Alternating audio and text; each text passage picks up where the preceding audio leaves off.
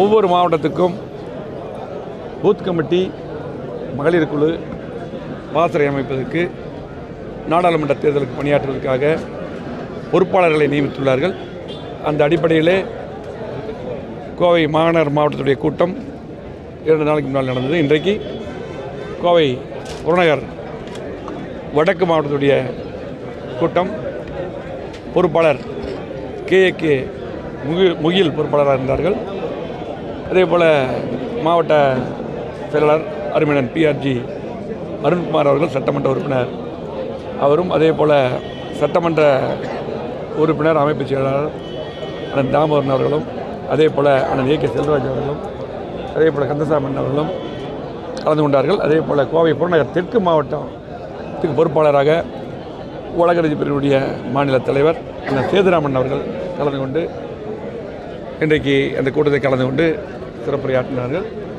பல்வேறு கருத்துக்களை எடுத்துரைத்தார்கள் இன்றைக்கு கோவை மாவட்டத்தை பொறுத்தளவில் புரட்சித்தலைவர் எம்ஜிஆர் காலத்திலும் அம்மாவுடைய காலத்திலும் எடப்பாடியார் காலத்திலும் என்றைக்கும் அதிமுகவுடைய கோட்டை இன்றைக்கு சிறப்பான முறையிலே பணியாற்றி கண்டிப்பாக இங்கே இருக்கக்கூடிய அனைத்து நாடாளுமன்ற உறுப்பினர்களையும் எடப்பாடியார் யாரை அறிவித்தாலும் எடப்பாடியார் தலைமையில் இருக்கக்கூடிய கூட்டணி இங்கே வெற்றி பெறும். அதுக்கு முழுமையாக இங்கே இருக்கக்கூடிய அத்தனை தொண்டர்களும் தோழர்களும் பொறுப்பாளர்களும் முழு ஒத்துழைப்போடு பணியாற்ற இன்றைக்கு திரளான முறையில் இந்த கூட்டத்தில் கலந்து கொண்டார்கள். இன்றைக்கு இருக்கக்கூடிய சூழ்நிலையிலே தமிழகத்தில் இப்போ இருக்கக்கூடிய திமுக அரசு இன்றைக்கு எந்த திட்டமும் தரவில்லை.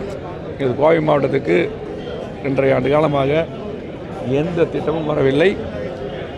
எடப்பாடியாக இருக்கும்போது பிரச்சனை அம்மா இருக்கும்போதும் எடப்பாடியார் முதலமைச்சராக வந்த பின்னால் கேட்ட திட்டங்களை புற கொடுத்தார். இதுவரையிலும் நடந்து கொண்டிருக்கக்கூடிய பணிகள் அந்த எடப்பாடியார் அவர்கள் நிதி ஒதுக்கி செய்து கொடுத்த பணிகள் ஐம்பது ஆண்டுகள் அந்த வளர்ச்சியை கோவை மாவட்டத்துக்கு தந்தார்கள்.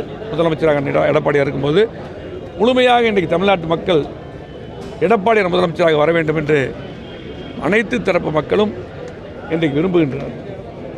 ஆகவே இன்றைக்கி பார்த்து சட்ட ஒழுங்கு மிக மோசமான சூழ்நிலை இருக்கிறது. ஆளுநர் மாளிகை முன்று குற்றம் முட்டு வீசப்படுகிறது. கோவை மாவட்டத்திலும் இன்றைக்கி எங்கே பார்த்தாலும் செயின் பறிப்பு இன்றைக்கி பார்த்திங்கன்னா மோசமான சூழ்நிலை தமிழ்நாடு முழுவதும் இருக்கிறது. அது மட்டுமல்ல இன்றைக்கு சொத்து வரி உயர்வு மின்கட்டண உயர்வு என்று மக்கள் மிகவும் சிரமப்படுகிறார்கள். அதே போல் இந்த மாநகராட்சியில் நகராட்சி பகுதியில் எந்த வேலையும் ஒரு பில்டிங்கை போனால் அந்த வேலை நடக்கிறதில்ல. இன்றைக்கி கடுமையாக பார்த்தீங்கன்னா சட்டங்கள் எல்லாம் மாற்றி எந்த வேலையும் நடக்கிறதில்ல. மக்கள் மிகவும் சிரமப்படுகிறார்கள். இன்றைக்கி எதுவுமே இந்த அரசுக்கு தெரிவதில்லை.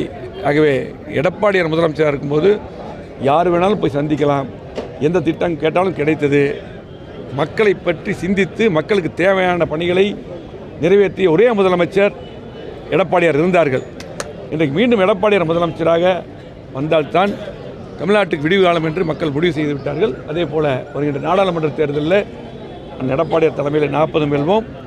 எப்பொழுது சட்டமன்ற தேர்தல் வந்தாலும் எடப்பாடியார் தலைமையில் இரநூறுக்கு மேல் வெற்றி பெற்று எடப்பாடியார் முதலமைச்சராக வருவார்கள்.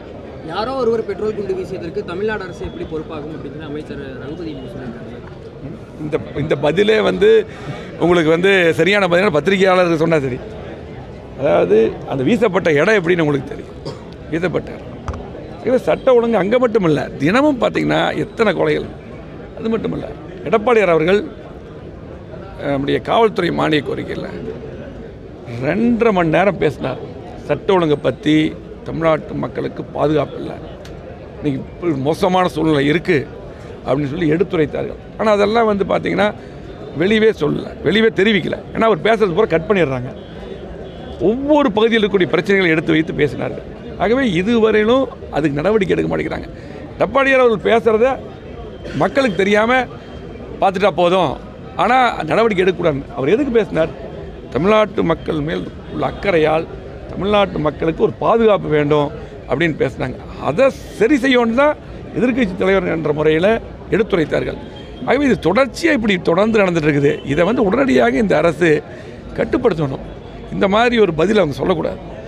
பொறுப்பு பூரா அவங்களுக்கு தான் இருக்குது காவல்துறை யார் வச்சுருக்கான்? இன்றைக்கி பார்த்தீங்கன்னா மு க. ஸ்டாலின் வச்சுருக்காரு முதலமைச்சர் வச்சுருக்காரு. இன்றைக்கி அம்மா இருக்கும்போது சரியான எடப்பாடியாக இருக்கும்போது பார்த்துருக்கேன் எவ்வளோ கட்டுப்பாடாக இருந்தது? பெண்களுக்கு என்ன பாதுகாப்பு எப்படி இருந்தது? இன்றைக்கி மோசமான சூழ்நிலை இருக்குது அதை சரி செய்யணும்.